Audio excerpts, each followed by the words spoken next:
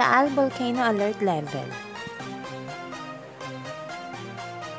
Taal Volcano Bulletin Update as of July 14, 2021, 5 a.m.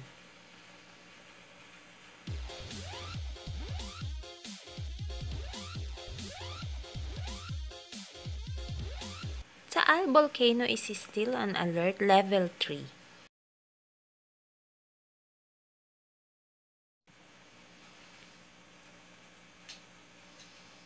Mayroon ngang anim na volcanic earthquake kabilang na ang anim na volcanic tremors na may habang 12 minutes.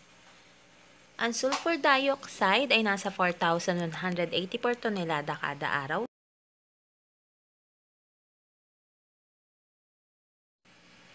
As of March 4, 2021 naman, ang temperature ng bulkan ay nasa 71.8 degrees Celsius habang ang steaming nito or plume ay may taas na 1,500 metro bago mapad, mapadpad sa timog kanluran.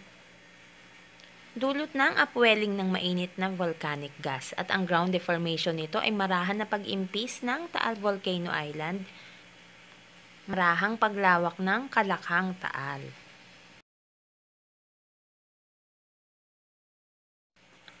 Muli po, mag-ingat pa rin po tayo mga kababayan natin na malapit dyan sa Taal Volcano dahil nasa alert level 3 pa rin po ang Bulkang Taal.